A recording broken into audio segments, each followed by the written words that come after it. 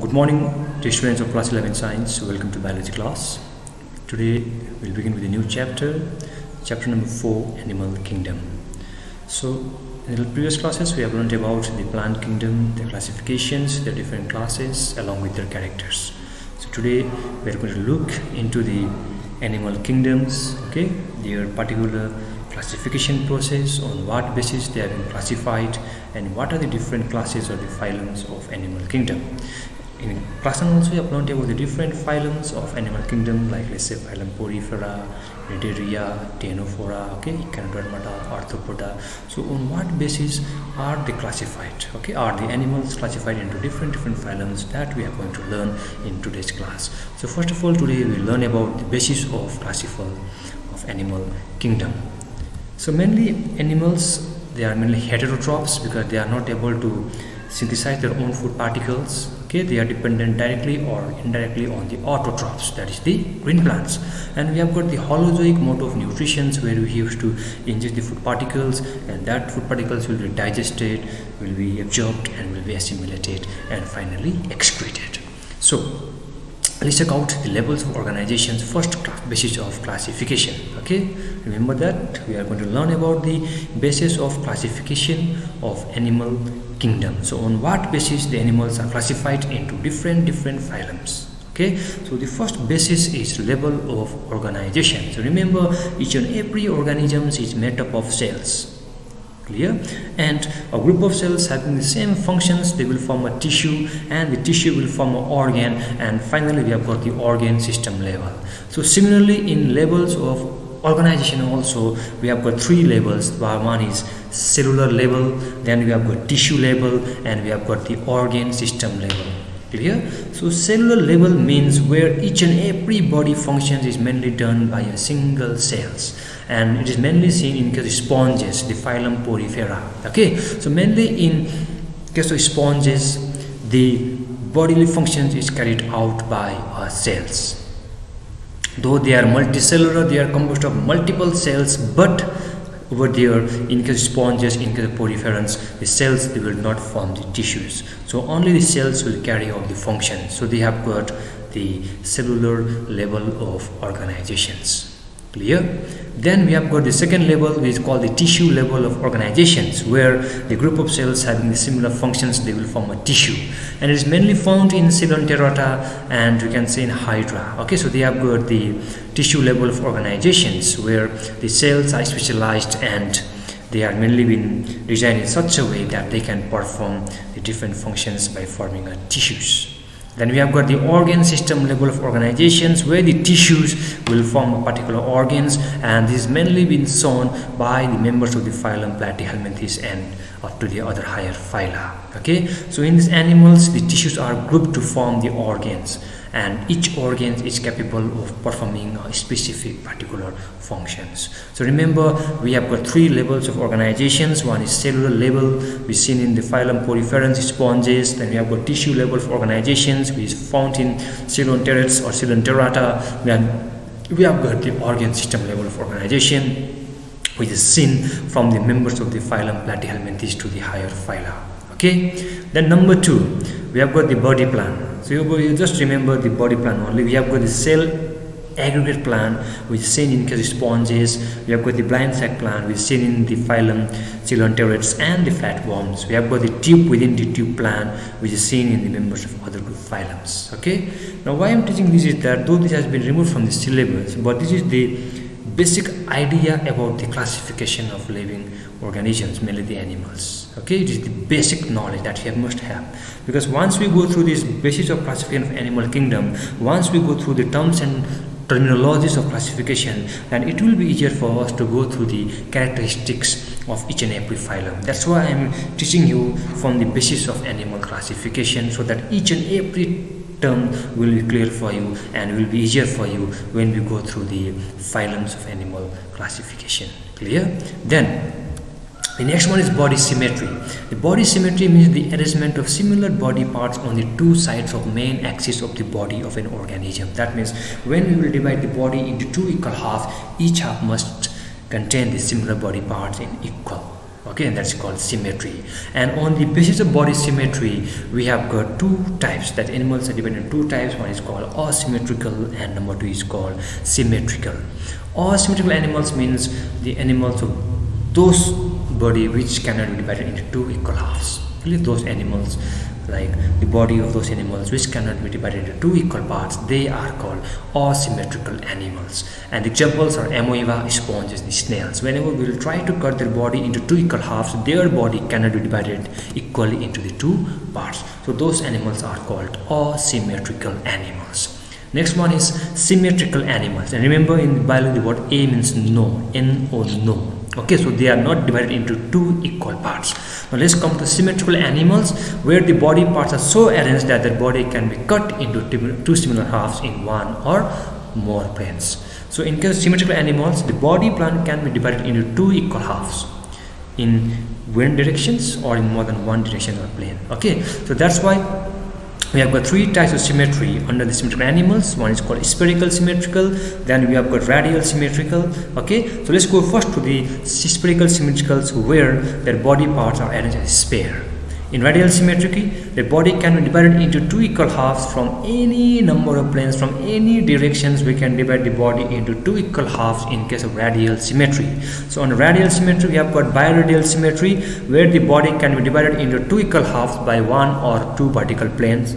Then we have got tetrameral symmetry, okay, we have got pentameral symmetry and we have got hexameral symmetry. But over here you have to remember what does biradial symmetry means that is very, very important, okay then next one number three is bilateral symmetrical where the body can be divided into two equal halves from only one plane.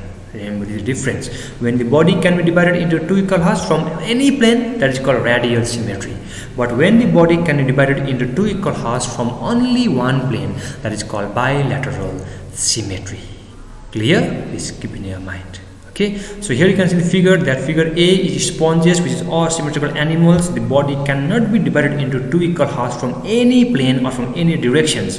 The number b you can see the spherical symmetrical animals. And c you can see the radial symmetrical animals. And D is the bilateral symmetrical animals from where we can cut the body into two equal halves from only one plane.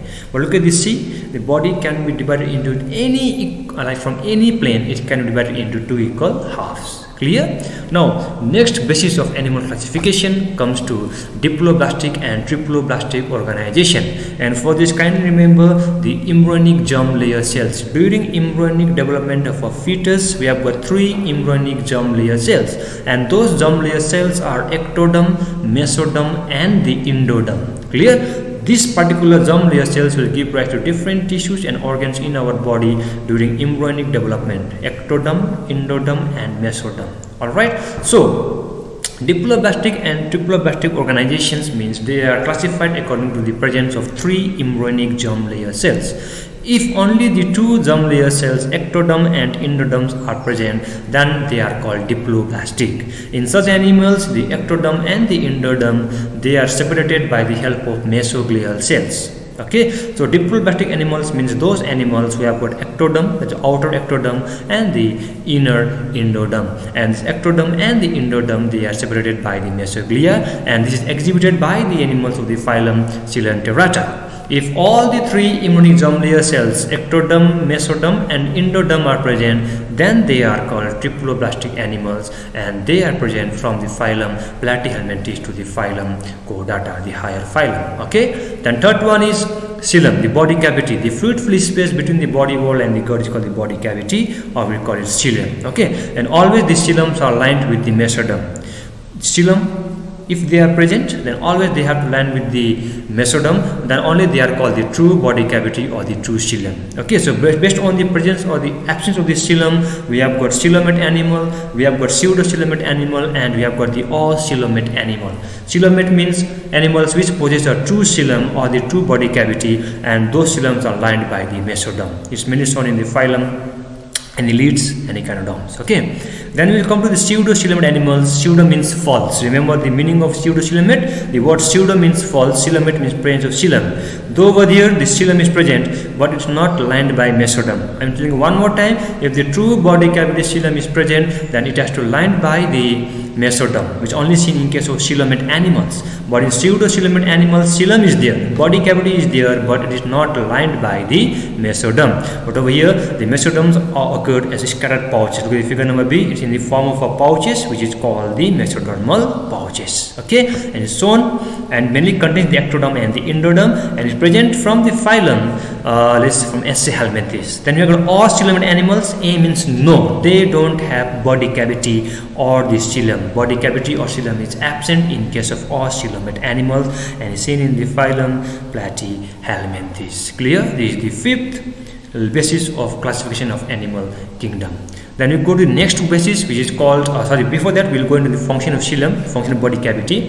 This coelom which act as the protective membrane okay it protects from the mechanical shocks or from the injuries so coelom act as the shock absorber and protect the internal organs from the external shocks it is an site for the maturation of gamete also it allows the temporary storage of waste materials also okay? It allows the gut to move independently on the body wall. So it provides the space where the body organs remain suspended. So these are the few functions of the body cavity or the function of coelom the next one we go through the segmentations. Uh, like segmentation means you have seen the earthworm.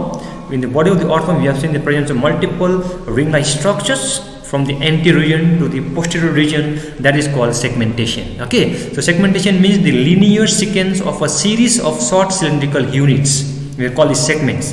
And since these segments are repeated multiple times it's also called metamerisms so we call it metameres it's also called metamerisms where the segments are repeated all over the body of a species. Clear?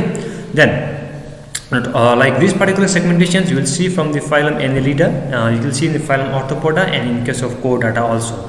So they usually produce multiple segments in their body. Okay. Then next one we will go into uh, appendages. Likely in point number eight, appendages uh, we means the presence of legs, foot, or setae. Okay, that's mainly used in the process of locomotions and in the process of food capture okay so these are the parts that mainly projects out from the main axis of the body and this will help in the process of locomotions to move from one place to another place and also help in the capture of food particles also. So uh, this particular appendages it can be in the form of tentacles in sea animals or in the form of setae in case of uh, parapodia so, sorry uh, setae and parapodia in case of annelida it can be in the form of antennae and legs in case of arthropoda fins in case of fishes, uh, legs and wings in case of vertebrates. Okay, so these are the few examples of appendages which can occur in different forms because they are helping in locomotions and they are also helping to capture the food particles. The next basis will go through notochord. This is the most important one. Okay, so notochord means the solid rod-like structures which are present on the dorsal side during the embryonic development. So animals who possess notochord they are called chordates. Okay, and those who do not possess notochord they are called non-chordates even we used to have notochord during our embryonic development but later on they are replaced by the vertebral column. Clear? The next one goes to digest systems. So we have got complete and incomplete digest systems which will help in digestion of food particles. Incomplete means where there is single opening. Only single opening is there from where the food particle will be ingested and will be excreted and is seen in Coelenterates and Platyhelminthes. Complete means there are two openings okay one for the entry of food particles for the ingestion of food particles and second opening is there for the removal of waste materials so where there will be presence of both openings okay where will the opening is two openings then that is called complete digestive system. So with single opening we will call it incomplete digestive systems. So where there will be uh, like where the single openings will function both for the ingestions and for the excretion of food particles but in complete digestive systems we will find the two openings okay what is called the mouth at the anterior end and the anus at the posterior end. So mouth mainly to engulf the food particles and anus for the removal of waste particles.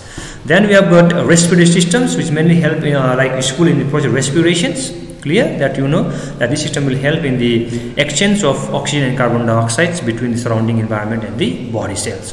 So we have got different mode of respiration. Uh, we have got aerial mode of respirations which is found in the terrestrial animals okay uh, then uh, those animals that have got aerial mode of respirations they have got trachea they have got lungs as the respiratory organs then we have got The aquatic respiration also for those animals which respire in water. Okay, it's mainly seen in the phylum Chironderata sponges, annelids, and crustaceans. Uh, they used to obtain the oxygen which is dissolved in the water. Then we'll talk about the next basis which is called the circulatory systems which will help in the circulations of uh, materials inside the body. So we have got two types of circulatory systems closed and open. Closed means where we have got three types of blood vessels artery, veins and capillary. The blood will flow through the artery, the blood will flow through the veins and they will finally enter into the capillary. So these are called closed circulatory systems where in closed systems the blood will not bath the body organs. Clear? And is mainly found in annelida echinoderms and all the vertebrates. But in case of open circulatory systems the capillaries are absent. So the blood vessels okay the artery will open directly into the wider spaces called the sinuses and the body organs are completely bathed by the blood. So it's mainly seen in the arthropods and the mollusk so in closed systems we will find artery veins and capillary. So the blood will flow through the artery the blood will flow through the vein and through the capillaries. Okay? But in case of open systems we don't find capillary. They are absent. And the blood vessel that is mainly the artery the blood will flow through the it and will open into the wider spaces which are called the sinuses and they will bath the body organs clear. Then next comes the excretory systems which will help in the removal of nitrogenous waste products from the body. It will help in the removal of waste substances okay? So it mainly helps in the removal of nitrogenous waste substances and it will help in the maintenance of homeostasis of the body. It will help in maintaining the water and the salt balance in the body.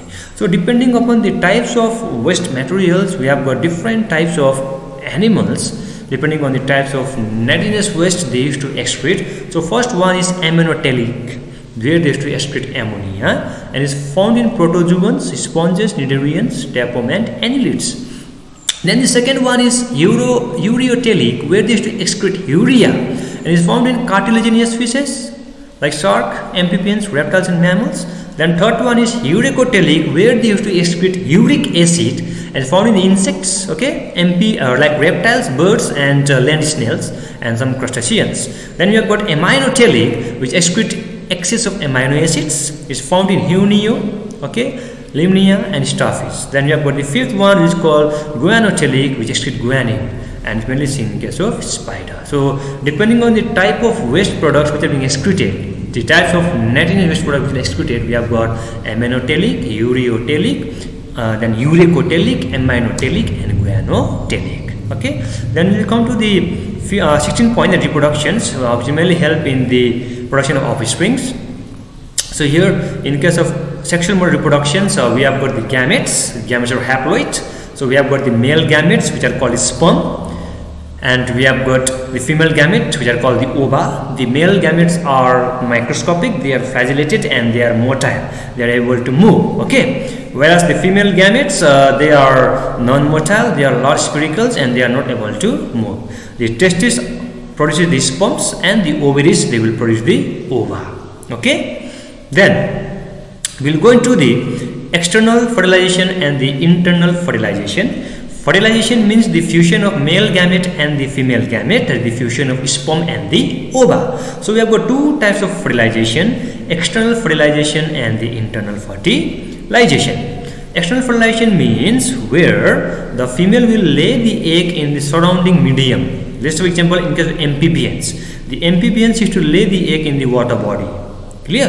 So in external fertilizations, the female gamete and the male gamete has to be released simultaneously in the external medium, let's say in water simultaneously to, in order to bring fertilization. So female will deposit the egg, they will lay the egg and male will release the sperm in the water body to bring fertilization. So here in external fertilization, fertilization is occurring outside the body. So it is called external fertilization.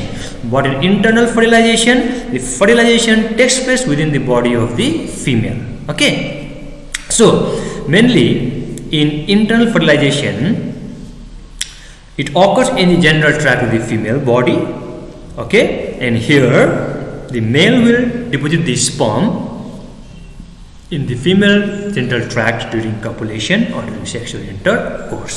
So since fertilization occurs inside the body of the female, it is called internal fertilization. And when we talk about the advantages between the these two, then obviously the internal fertilization has more advantage than the external fertilization. Because in external fertilizations, the eggs can be preyed upon by the predator or even after hatching, the larvae or the adults will also be preyed by the predator. So there is less chances of survival of offsprings. But when we talk about the internal fertilization, since it occurs inside the body of the female, so there is complete protections given by the mother to the offspring okay so there is more chances of survival in case of internal fertilization as compared to external fertilization clear the next one we will talk about the body temperature body temperatures means our constant body temperature is 37 degrees celsius. Okay? So depending on the body temperatures we have got poikilothermic animals and we have got homeothermal animals Poikilothermal animals are also called ectothermal animals or cold-blooded animals because these animals are not able to maintain their constant body temperature when the environment, environment temperature keeps on changing. So since they are not able to maintain their body temperature depending upon the environmental conditions, so they are called poikilothermic or cold-blooded or ectothermal animals. Example, fishes, amphibians are cold-blooded animals. Then when we come into the homeothermal animals or endothermal animals or warm-blooded animals, we are the one who are able to maintain the constant body temperature. And our body temperature does not change with the change in the environmental temperature clear. So we are warm blooded animals. We are able to maintain our constant body temperature and our body temperature does not change with the changing environmental temperature. Okay? And in, in order to protect themselves against the low and very high temperature the cold blooded animals have developed a few processes in order to escape those adverse climatic conditions. One is called hibernation the long winter sleep okay. The cold blooded animals hide themselves to escape from the low temperature like the lizard snake frog okay? And estivation means the summer sleep the cold-blooded animals hide themselves in some shady area during the extreme summer conditions. So these are the two processes by which the cold-blooded animals tends to maintain the body temperatures and they will try to escape the adverse environmental conditions. Though in warm-blooded animals also we can find the process of hibernation in the polar bear like the, where they used to go for the long winter sleep. So here we have finished the basis of animal classifications because we have learned that on what basis the animals has been classified into different different phylum. Okay so just go through the book and find out the probable regions or the basis on which animals have been classified and kindly go through the new technologies and the terms that we are going to use when we go through the different phylums of animal classification. So this much for today. See you in next class. Thank you